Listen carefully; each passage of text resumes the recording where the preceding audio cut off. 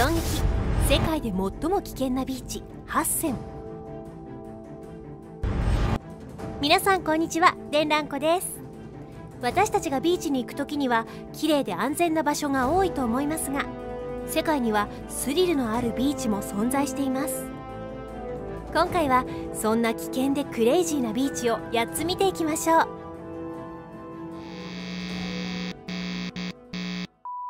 魔法ビーチ。カリブ海のリーワード諸島にあるこの場所は航空機がビーチの真上すれすれを飛ぶことで有名な場所です。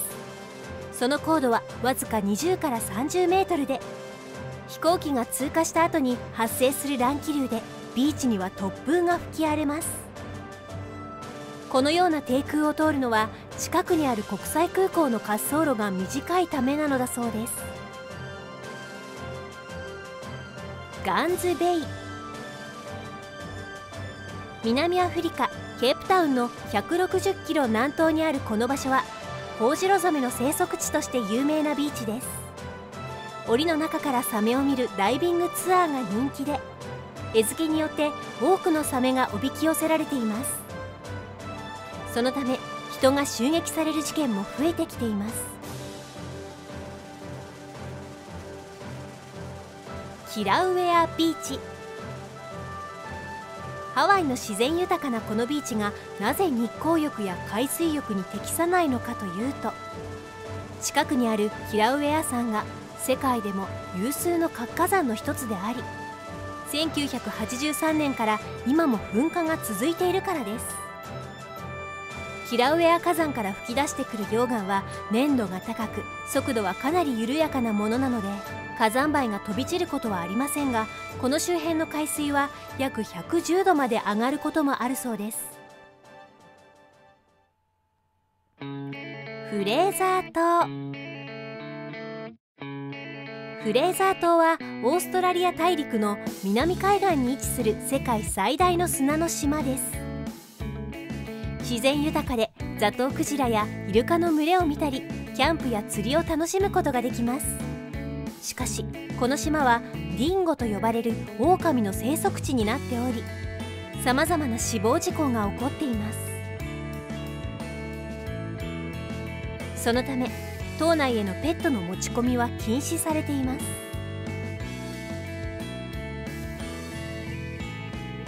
チョーパティビーチインドのムンバイに位置するこのビーチは夕焼けがとても綺麗に映えることで有名な場所なのですが船からのゴミや残骸だけではなく6万トンの石炭が貨物船から流出したことで非常に汚染されたビーチになっています。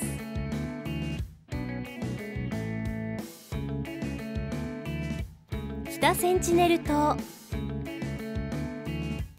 この島は信じられないことに政府に干渉されずに先住民が暮らす島です。インド政府が何度かこの部族への干渉を試みましたが抵抗され続けています。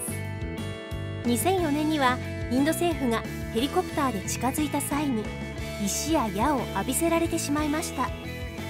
2006年には酔った船乗りが彼らの海岸に足を踏み入れたがために殺害されています。ケープトリビレーション。ケープトリビレーションはオーストラリアの中で最も雄大な景色が見れる場所の一つです。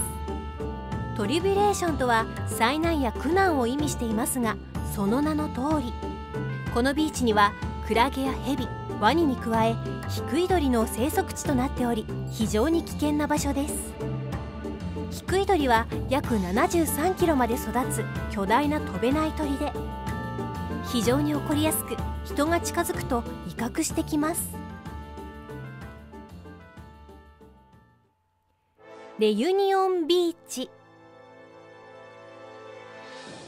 インド洋に浮かぶレユニオン島にあるこのビーチはサメによる事故が世界で一番多い場所です。毎年サメにより多くの被害者が出ており